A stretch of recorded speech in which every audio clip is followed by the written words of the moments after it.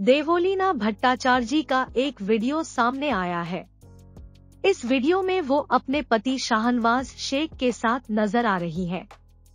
Video में देवोलीना शाहनवाज हो कसकर गले लगाए नज़र आ रही है। वहीं वो उन्हें गले लगाकर रोती हुई दिख रही है।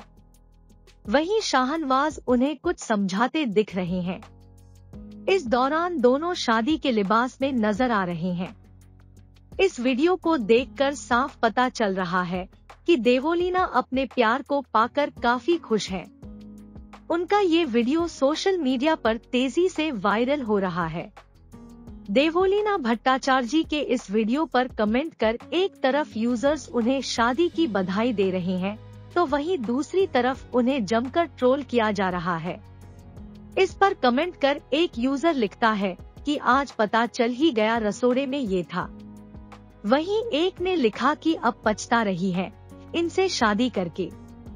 एक ने लिखा कि सीरियल नहीं है रियल लाइफ है, यहाँ क्यों एक्टिंग चालू है? एक फ़ैन ने लिखा कि सब फैमिली को पकड़ कर के रोते हैं, ये दूल्हे को ही पकड़ कर रो रही है।